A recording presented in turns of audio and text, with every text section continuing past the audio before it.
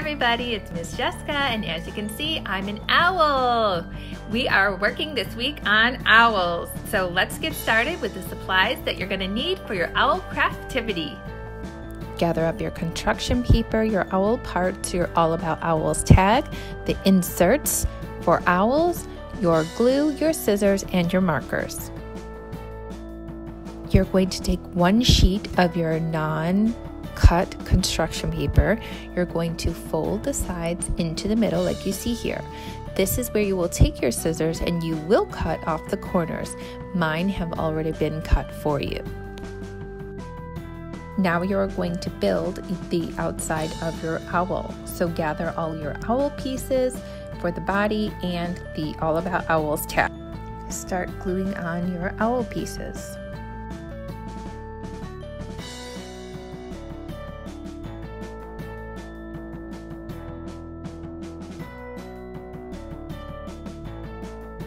Once your eyes, beak, feet, wings, and All About Owls tag is on, you can start coloring in parts like the beak and the feet.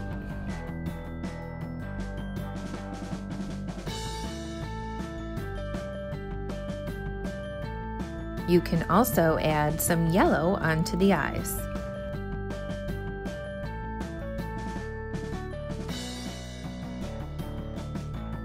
You can also add the wing detail, making a small W onto the wings.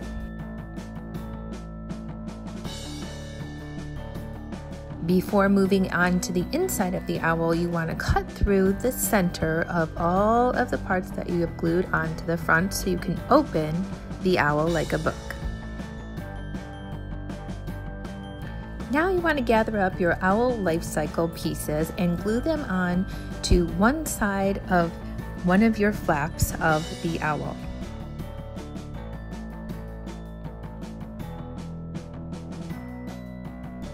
Now you want to glue on the actual pieces for the life cycle. The owl life cycle should be egg, chick, owlet, fledgling, an adult. It should look like this here.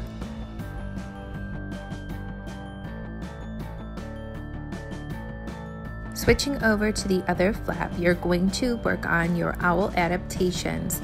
And in the blank spaces, you will add in what they are used for and how they help the owl.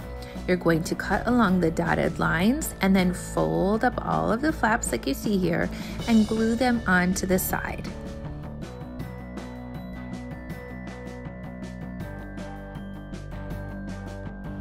They have sharp talons to help kill their prey. Their feathers give them silent flight to sneak up on their prey. They have excellent hearing to sense small prey. They have supreme vision that can see in day and night, and they can easily blend into their surroundings with camouflage. Moving to the middle of your owl, you are going to glue on label an owl. You will take all of your pieces and label where they belong in the little rectangles.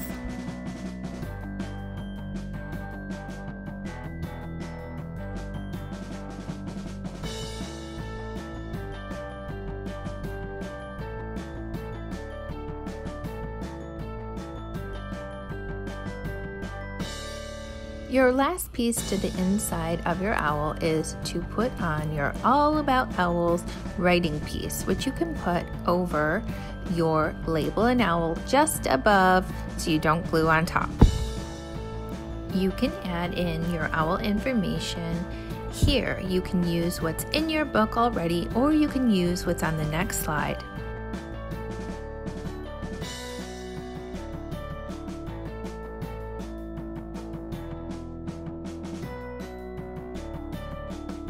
There are 200 different types of owls.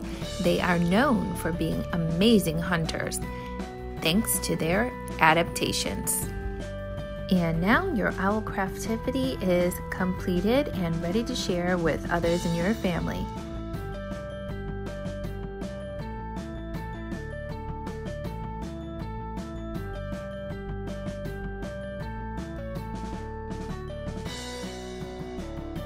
Did you know when an owl eats something that is unable to digest, it spits it up or regurgitates it into these things called owl pellets? These are different types of owl pellets from different kinds of owls. And today you have one in your kit, and we're gonna look at that and do some experimenting, dissecting the owl pellet. Get your owl pellet, your pick, and your tweezers. Open your tinfoil to find your owl pellet and use your tools to carefully break off pieces a little at a time.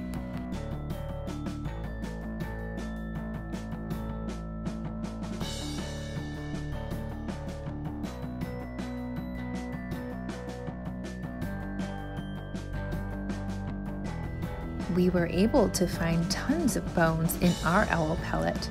What did you find in yours? Don't forget to share with FCL. Thanks for joining the Fairmount Community Library Learning Lab and learning all about owls. Don't forget to share what you have in your owl pellet.